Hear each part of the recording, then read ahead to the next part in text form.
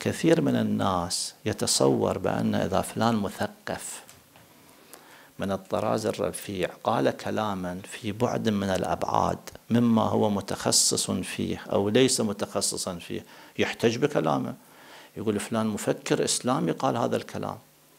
أو فلان عالم غربي نقول الوصف العنواني له المدخلية. هذا المفكر قاعد يتكلم بما هو مفكر لا بما هو متعصب لملته. أو لدينه أو لقومه أو بما هو غير مفكر مقلد. كثيرا ما المفكر يكون في هذه القضية الخاصة مقلدا لا أكثر. نشوف إحنا في الخارج. المشكلة الكثير من الناس يغريهم عنوان الشخص فيتصور أن كل ما صدر منه يصدر منه بما هو متعنون بهذا العنوان. يعني الحيثية كانت لها مدخلية وليس. حتى عالم الدين الناس يتصورون إذا صدرت منه سيئة يحملون سيئة على الدين.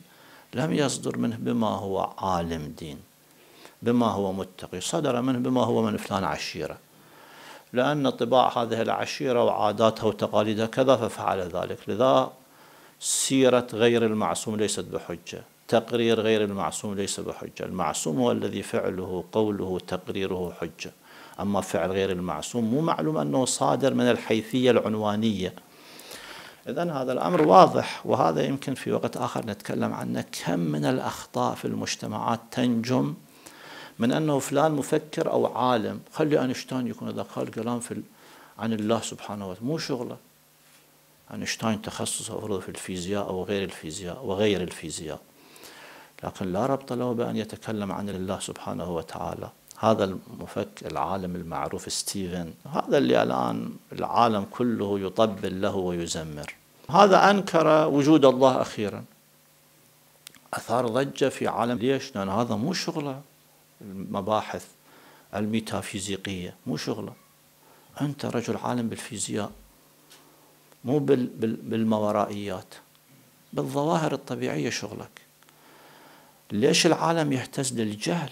الوصف العنواني له مدخلية. أنا مراجعة نظريته حتى شو شو يقول؟ شو قاعد يتدخل في بحث فلسفي؟ ما له ربط بالشغل أصلا.